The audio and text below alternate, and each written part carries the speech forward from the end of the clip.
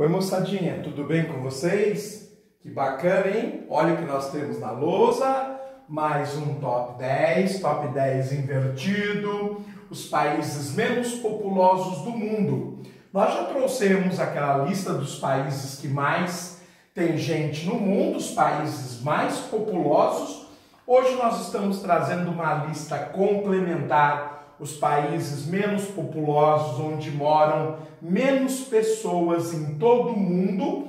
E o primeiro lugar é o Vaticano, que é o menor país do mundo em área e também tem uma população fixa de apenas mil habitantes. É brincadeira? Nauru, aquele país da Oceania, um arquipélago minúsculo, tem cá quase 10 mil habitantes mas não chega nos 10 mil. Mesmo assim, já tem 10 vezes mais população do que o Vaticano.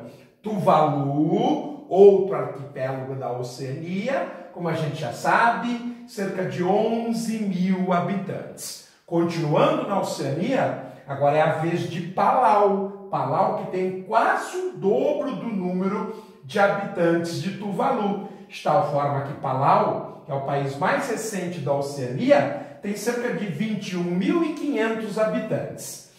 Gente, em quinto lugar é um país da Europa, aquele micro país localizado entre a Itália e a França, que é Mônaco, com pouco mais que 30 mil habitantes.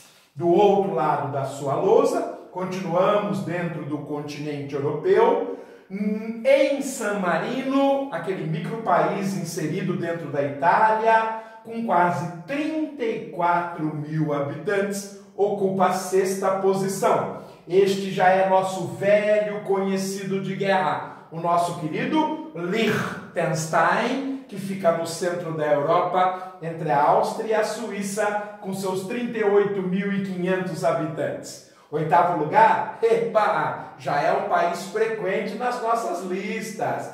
É um país do Caribe, da América Central Insular, portanto, São Cristóvão e Neves, que tem 53 mil habitantes. Opa, São Cristóvão e Neves já tem mais habitantes que a minha cidade, que tem 45 mil. E a sua? E Dominica, em nono lugar, outro país da América Central, outro país do Caribe, com 74 mil habitantes. E em décimo lugar, na Oceania, as Ilhas Marshall, com quase 76 mil habitantes, completam essa lista belíssima dos 10 países com menos gente em todo o mundo. Gente, eu estou ficando por aqui. Tchau e até a próxima. Tchau, tchau, gente.